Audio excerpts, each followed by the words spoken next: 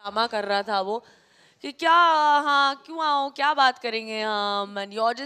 Film Gadar to का इंतज़ार पूरी इंडिया कर रही है, वहीं इस फ़िल्म को लेकर करीना कपूर भी अपने आप को बोलने से रोक नहीं पाई। गदर टू को लेकर करीना कपूर ने कह दिया, कुछ ऐसा कि आप सुनकर हिल जाओगे। ऐसा क्या कहा करीना कपूर ने गदर टू को लेकर? बताएँगे आपको पूरी खबर तो वीडियो को अंत तक ज़रूर देखिएगा। हाल ही में सनी देओल, अमीषा पटेल के साथ कपिल शर्मा शो में भी गए थे। वहीं सनी देओल गदर टू के लिए बहुत ज़्यादा एक्साइटेड भी हैं। उन्होंने इस फ़िल्म के लिए लगभग बाईस साल का लंबा इंतज़ार किया है। और जब से फ़िल्म का टीजर जारी किया गया, तब से गदर टू ने हर तरफ़ बवाल मचा रखा है। गदर टू के सामने कोई भी नहीं टिक सकता। परंतु फिर भी अक्षय कुमार ने न जाने क्यूँ गदर टू ऐसी टक्कर मोर ले ली है। क्यूँकी अक्षय कुमार की फ़िल्म ओ माई गोड टू भी उसी दिन रिलीज़ होने वाली है, जिस दिन गदर टू रिलीज़ होगी। इसी को लेकर करीना कपूर ने कहा की गदर टू फ़िल्म को रोक पाना मुश्किल ही नहीं, नामुमकिन है, क्यूँकी गदर टू एक फ़िल्म नहीं, बल्कि एक इमोशन है। लोग इस फ़िल्म को दिल से प्यार करते हैं।